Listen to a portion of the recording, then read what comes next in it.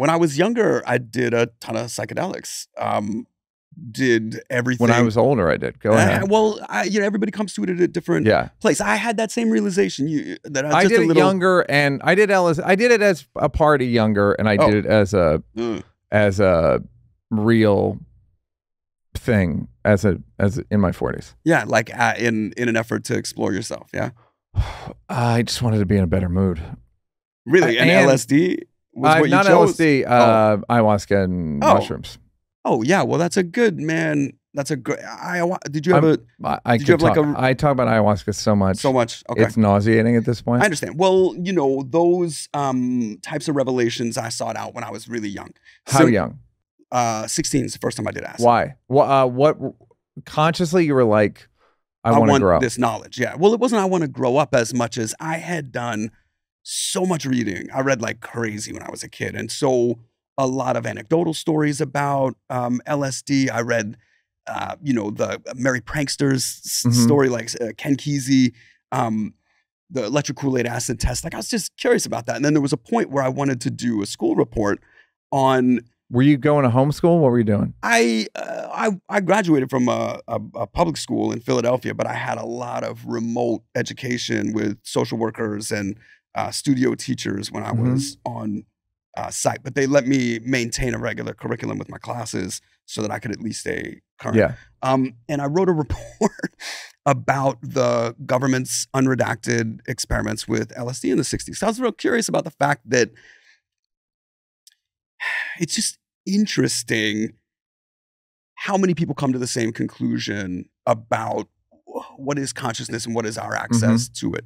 And how do you separate yourself from all of these stimulus and all of these um, creative or, or cultural overlays of like how you are what your parents give you in your dna separated from like what you can be what you can feel what you Mhm. can emote what you can um, i don't know relate to? And i- at a period of time when i was doing a ton of theological study i was just curious like what are the unifying factors for religions what is it that everyone's really trying to get at it's that same place of consciousness that stillness the connectivity to everything Everything. Yeah. Right. And so acid seemed to shortcut you into that consciousness. It it makes you keenly aware of the idea that well 'cause it does a couple I'm. I'm I'm going to object to sh- uh, shortcut. you did it at a It- party no, no. though. It's so the, you're no, getting no. I'm saying it's the only cut. Oh, interesting. I'm saying I'm saying it's not like there's much of another way to get there. I to me, well, have you ever meditation, meditation. yeah, meditation, but serious meditation. Yeah, meditation, heat, ha- ha- hatha yoga. It's the kind of stuff that is like you you breathe. I mean, it's probably what people were doing at Stonehenge is putting themselves into some kind of altered state so that they can feel the divinity of unified consciousness. Totally agree. Right, so- I, but even that, those, I guess they're all shortcuts, but I don't know. So I think there's either that, there's like 10 years or an hour Well, you know, in a good way. I don't, I eh, don't think they're shortcuts. here's what I say. point. I I appreciate that the distinction of the classification. Yeah, because it sounds like like lazy or something, and it's not. I definitely didn't take it like that. Yeah. I, I, you know, I come from video game culture where secret doors are secret doors, where your, you know, equipment inside this treasure chest, you, you're gonna take it. So Right. you you don't um, eschew your potential upgrades just because you got there quicker than somebody else. Just because you went, you got that book. Yeah. They used to be in books. Yeah, right. so with acid, I was really curious about that. And I took it in earnest, not at like a party, but with like a here's my goal.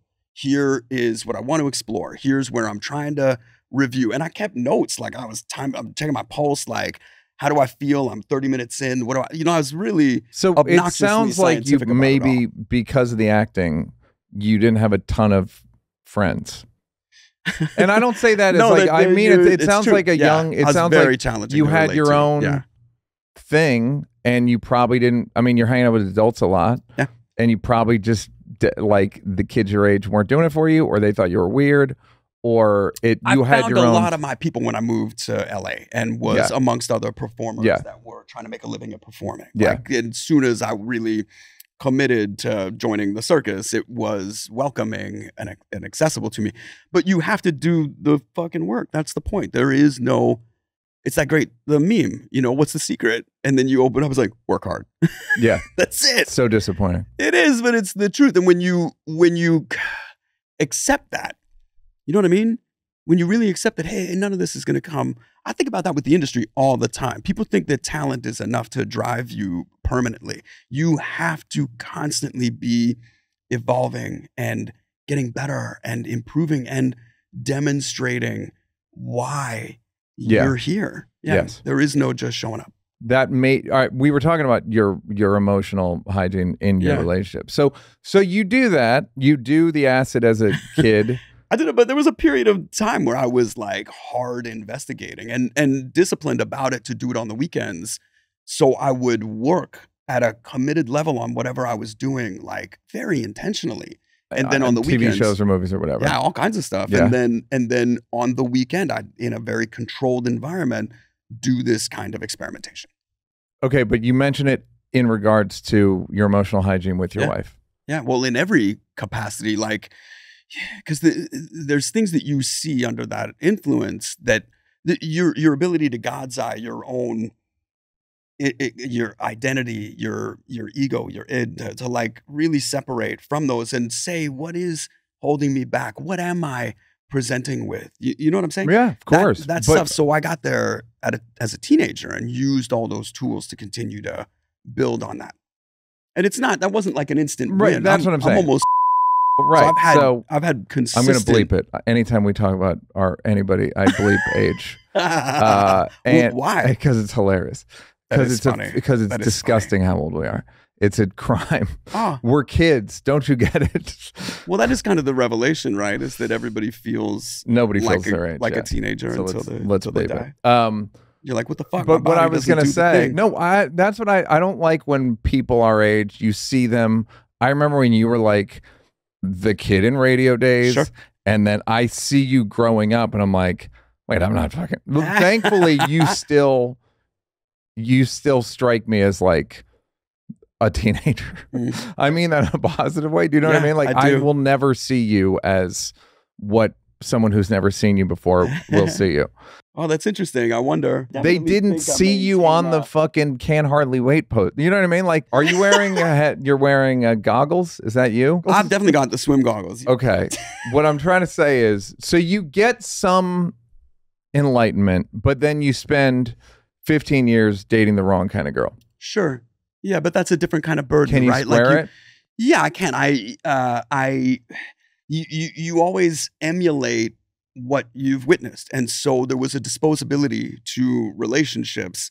Um, and then there was also this assumption that being married meant screaming at the top of your lungs at each other. Oh, other. right. Right. So I come out into the dating world and I'm convinced that what I, especially when I hit LA and everybody's like, yo, you got to play games, dude. You got to like mental hijinks these women. You got to like trick these girls into thinking you don't like them. You got to treat them like shit, all this stuff. Yeah. And I was like, oh, oh, all right. Is that the way to get laid? Like, okay, I'll do my best. It took me a really long time to realize that I didn't need to do any of that. You know what I mean? Yeah. And to tell you the truth, the drugs helped. It was like, why are you? The drugs that, but so this is your drug. You you continue to do uh, hallucinogenics. Yeah. For throughout your 20s. No, no. I, I mean, the last time I did anything in earnest, I was like maybe 20.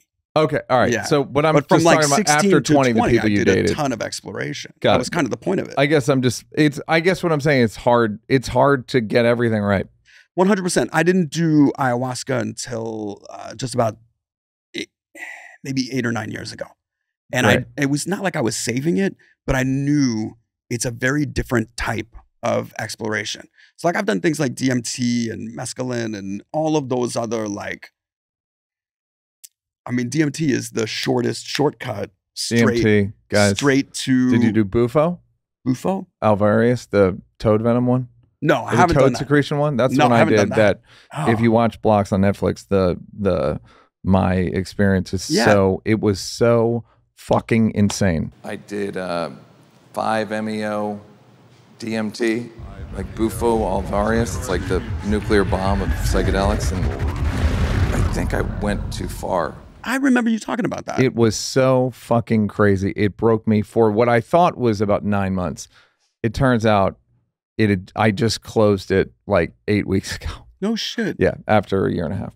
But And wh- what was it? Just like the trauma uh, of the I visions? was I no, it had nothing to do with my anything on Earth. It was Something I chemical? went to well, no, I just went to what Michael Pollan described as before the Big Bang. Mm. And uh, you know, I I don't think it's great for people to go there, No. but I'm better off. if you're able to reconcile it, I yes, but Yeah. there were a couple days there where it wasn't. We weren't going to go on. So I hear you. it was insane. It Yeah. was insane. Hey, did you like that? Did you like that? Yeah, did you like it though? You want more? Don't want to work? Would rather watch videos of me grab assing with people? First of all, go up here to subscribe, and then go up here to uh, watch more clips. This is like when the weatherman says there's a high pressure system coming in. I'm not really used to the green screen.